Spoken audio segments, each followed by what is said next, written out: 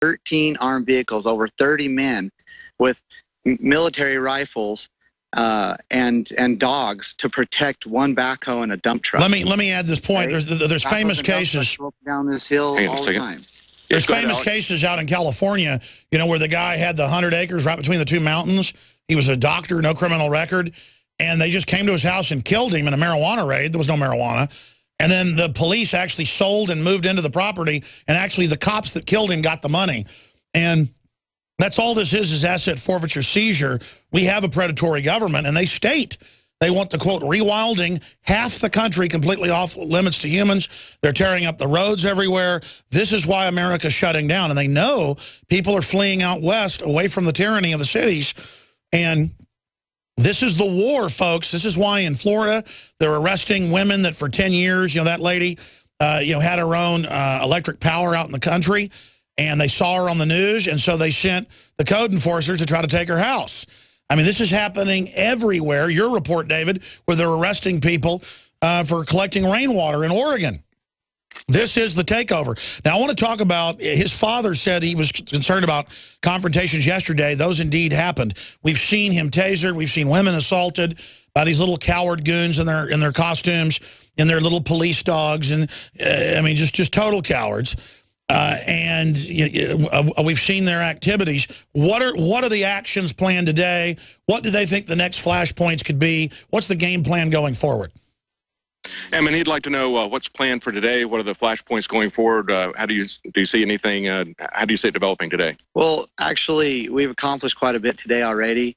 At dawn, we had uh, around 20 cowboys uh, go out on on the the public land, uh, and we gathered about 30 head. Um, we did have a small confrontation with them, but they didn't have enough forces to really do a whole lot. Uh, they couldn't mobilize fast enough, and we were able to gather those cattle and get them to the ranch. And they're branding the, the calves and stuff right now. So we've already done some. Um, we have a lot of people here that will be here protesting. Uh, we also have our, we're starting to get the state to start realizing their responsibility. So we have five uh, state representatives that will be here addressing the people at five o'clock. And so that's what's going on today. Let me ask you about the auction because uh, there was news that they were going to try to auction off the cattle. I saw something as we are flying out here. I read that uh, they had they were going to originally auction them off in Utah. Utah said no. What's the status of the auction of the cap, uh, cattle that they rustled so far? Well, the they had paid the auction three hundred thousand to take the cattle because obviously they must have known that there would be some commitment that the cattle. Uh, they were not able to do that. Uh, one is Utah's not allowing them to be transferred to to the to the uh, auction yard, and then they were opposed so heavily that uh, if they continued it, the auction yard would have gone out of business. Um, so we imagine, and we don't know this for sure, but we imagine that they're looking for other ways to sell these cattle. Um, we don't know that the cattle have left the compound over here or not, uh, but we have we actually have airplanes in the air. Finally, we've been able to get airplanes in the air to confirm that, and I haven't got that report. Hmm. Um, uh, our goal is to keep those cattle from leaving this area uh, by the people's voice, and then take them back. Let me ask you one last question if we got time, Alex.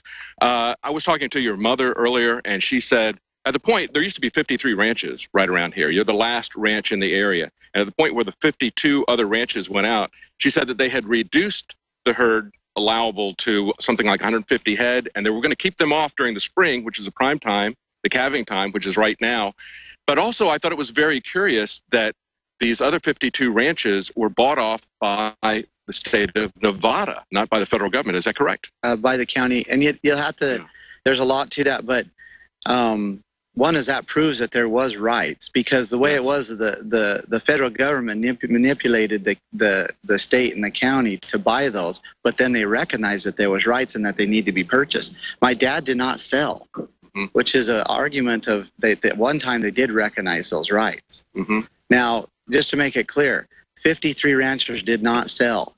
Many of them were pushed out, regulated to the point that they could not survive. Yes. Others died, uh, and I mean by not not violent death, but these are you know older men, and they died young because they were the the pressure and the and the anyway, I, I just talk about a couple of ranchers that actually died of heart attacks. I mean, this is a, a serious deal. It's extremely stressful on a rancher.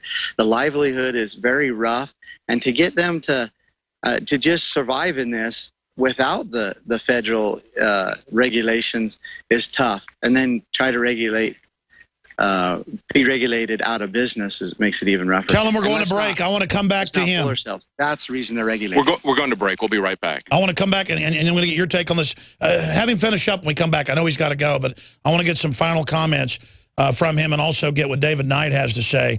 Uh, but if he's got another interview, let him go to that. Folks, this is the extinction of a way of life. This is the hunting down, the harassment. You really learn how predatory the government is when they've gotten 3% more of Nevada in just the last six, seven years. It's up to 90% now. It was 87. They want everything. And if you got hardy people out in the desert that have been there for 140 years, they want them gone. They want you in the cities drinking fluoride, eating GMO. This is off the charts evil. We'll be right back. Thing.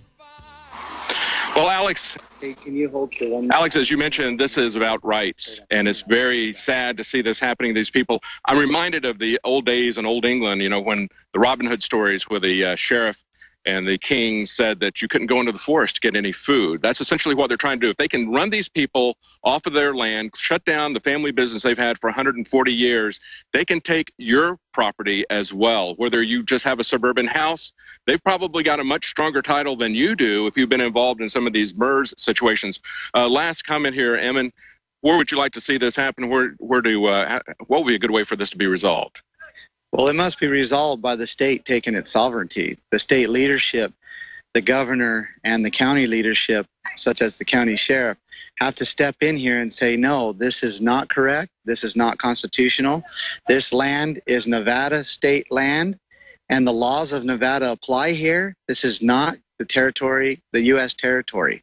Now, so far, the governor, Republican, Sandoval, has been standing on the sideline wringing his hands. Uh, but you do have some state reps that are going to show up this afternoon, you think? We do, and of course they're trying to influence the governor to to to get a backbone in this thing. Yeah.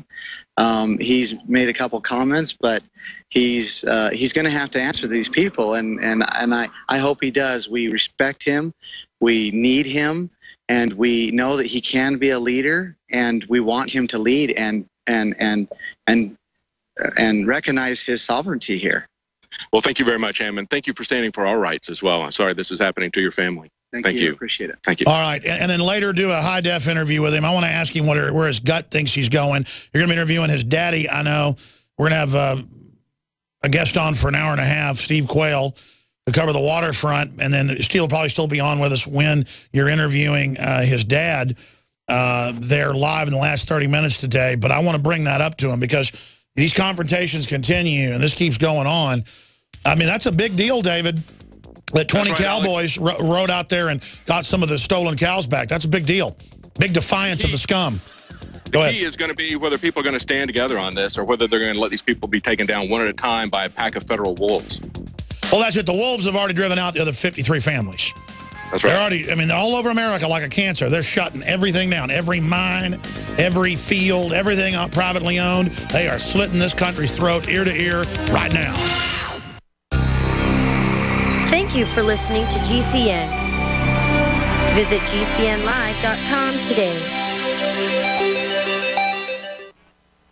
Why does the United States spend the largest percentage of GDP in the world on healthcare? Why do we have the highest cancer rates on the planet, the highest rates of diabetes, autism, and every other major disease? It all comes down to one thing. We are what we eat. Our food is devoid of nutrition and processed with poisons and additives. Our water is filled with toxic poisons and big pharma runoff. All of this has been engineered by design. We can turn the tide against the eugenicist by giving ourselves the nutrients our body desperately needs. To learn more, visit InfoWarsHealth.com. The site is literally packed with audio and video featuring top health professionals who don't bow down to big pharma. The fight against the New World Order starts with you, and you can't stand against the machine if you're sick, tired, and obese when you visit InfoWarsHealth.com. Be sure and check out the catalog with nearly 400 life-changing products and get free shipping when you sign up for AutoShip.